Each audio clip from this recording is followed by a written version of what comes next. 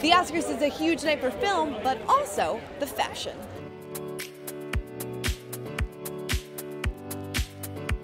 Tell me about this. This is gorgeous. Thank you so much. It's Ralph and Russo. Uh, it's the only dress I tried on. Really? Um, and yeah, I'm obsessed with it. This is Georges Chakra with uh, Jimmy Choo shoes. This is a custom Marchesa gown. Sir John did my makeup and he's so talented. He wanted to do the lilac eye just to kind of edge up the dress because it's super glammy and, and it has a vintage feel so we kind of wanted to go with that vampy sort of look. This is Ralph and Russo. Um, I wanted a little bit of a modern moment after what I wore last year, so hence this. And tell me about those earrings, because they oh, look stunning. These are Lorraine Schwartz. Is it true um, that they are $5 million? Yeah. yeah, I like diamonds. What can I say? What can you say? Do you get nervous when you're wearing that much jewelry? No. No, no. They, they work on me so easily. It's like, you know, some people just can carry them.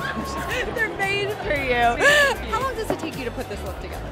Um, I well, it's Prada, and Prada kind of did a sketch and sent us, and we made a few modifications. And I just had a baby, so we knew I couldn't be low cut because I definitely have very large breasts right now with all the breastfeeding going on. You just had a baby. Oh well, there's a corset very uh, aptly in this area here. So it only took about two hours, which I don't really. That's not bad. It's not bad. This was the last minute, last minute put together. How come? How come so last minute?